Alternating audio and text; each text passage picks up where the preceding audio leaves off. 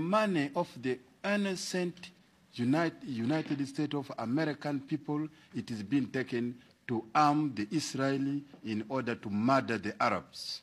And you cannot keep the Palestinians, who are the owner of the lands, to be in, in, in, in to be in the tent for more than 30 years.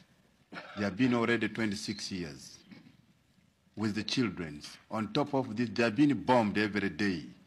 They are being murdered, slaughtered by bombs, by phantom, and while they don't have airplane. They are poor. They don't have even, they don't have a tractor to make them to grow more food for their family. They are being assisted by the refugees. And we don't want this state. Today, in more, most modern world, we wanted to see that instead of buying phantom jets and uh, even the reason why today I could read the paper yesterday that the, uh, this new uh, New York City, I think uh, the governor went to the president of the United States because there is a bankrupt in the United New York, and uh, because the money of the innocent United, United States of American people, it is being taken to arm the Israeli in order to murder the Arabs. And we don't want this. We, don't, we want development. We want, to, we want to grow more food. We don't want to buy more ammunition and a bomb and kill innocent. The United Nations is here because of the peace, not because of uh, killing or fighting. Because you know that we have the law, and uh, this is the United Nations. When the resolution is passed that uh, you should withdraw from Arabi occupied territory, I think the resolution I remember is 242, but they refused completely. And what the power has the United Nations? Are we trusting United Nations organization or not? And even according to the history, there is no such a state of Israel exist until 1947. There is no state of Israel. We don't want war in Middle East. We don't want even uh, uh, Israelis, Jews, to be killed in, in, in the Middle East. We want peace. We want peace in uh, Jerusalem, as I said yesterday, because the Christian, the Jews, the Muslim can live together in harmony. We don't want to see Israel dying, even during the October War. I was the first, uh, I think, leader went to front line to Syria, and uh, I saw myself, and I met even talk with the prisoner of war. Some of them, phantom pilot, were captured. Some in hospital, and uh, I talked to them, and even they told me they were forced to go. They were chained in the phantom to go and bomb Syria and uh, Sinai in Arab country. They did not want it to, to go. And even I, the, the, the chain which they were, they were chained on the, in the airplane, uh, it, I, I saw it with the, even locked.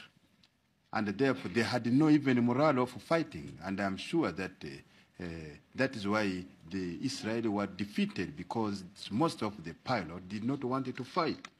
And then how can we stop this fighting, killing in the Middle East? We don't want this to happen again. And I think it is a responsibility of the Israeli government to change their mind, to stop fighting, uh, to withdraw from occupied territory. But if Israel wants peace, Israel must withdraw from Arab territory. You are sure that in 1967 they captured the whole Sinai.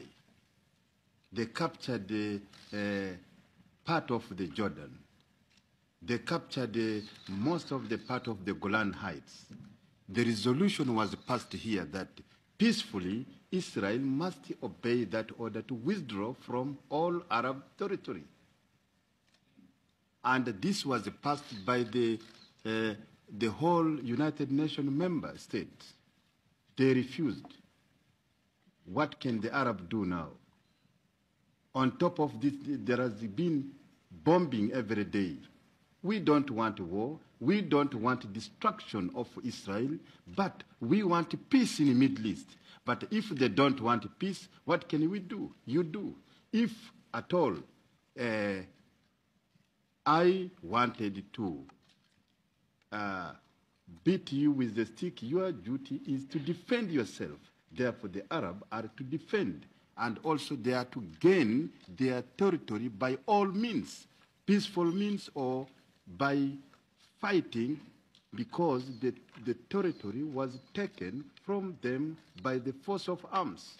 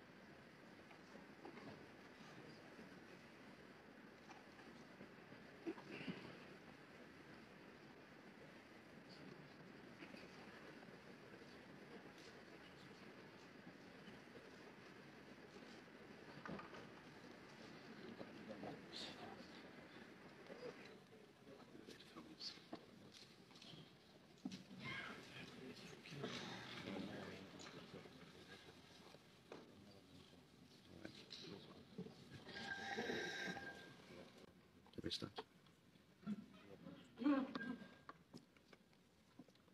Ladies and gentlemen, it is my great honor and privilege to introduce to you His Excellency Field Marshal Al-Haji Idi Amin Dada, President of the Republic of Uganda and current Chairman of the Organization of African Unity.